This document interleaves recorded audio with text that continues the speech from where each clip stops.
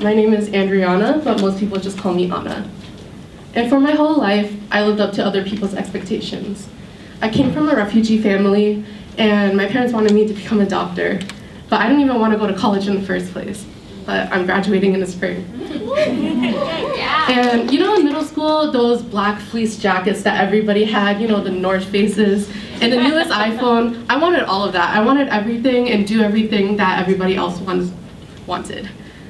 And then one day in high school, I was just scrolling through the depths of YouTube at 2 a.m. like everybody else does in the middle of the night. And I watched, I came across this video about minimalism, and I just got sucked into it. This lifestyle was like, it was crazy, like, what? so close your eyes and try to picture what you think a minimalist looks like. Now open them.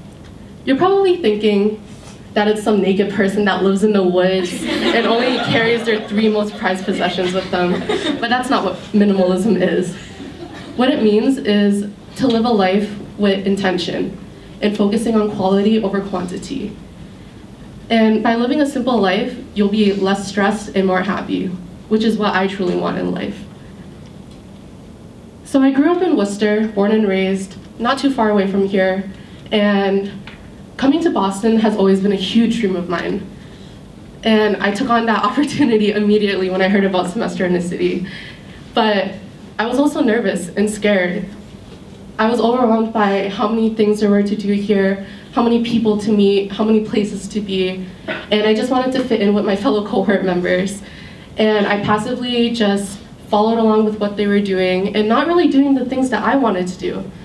And in the beginning of October, I just started getting fed up with it. I asked myself the most important question, does this bring me joy? And the answer was no. So I took a step back and I thought about it. I've been so into this whole minimalist and simple life type of thing, wanting to live in intention, but I wasn't doing anything that I actually wanted to do. And from there, I started doing a lot of things like taking walks by the water and going to museums and looking at art, and I was so much happier. And I even heard from someone, I want to be Anna when I grow up. And I was like, why? And I realized it's because I'm doing me. I'm just happy. And I think everybody should strive for that. Just do you. um, I don't think it's selfish to want to devote time to yourself and find your passions because at this time in your life, it's the most critical time to be doing that. Thank you.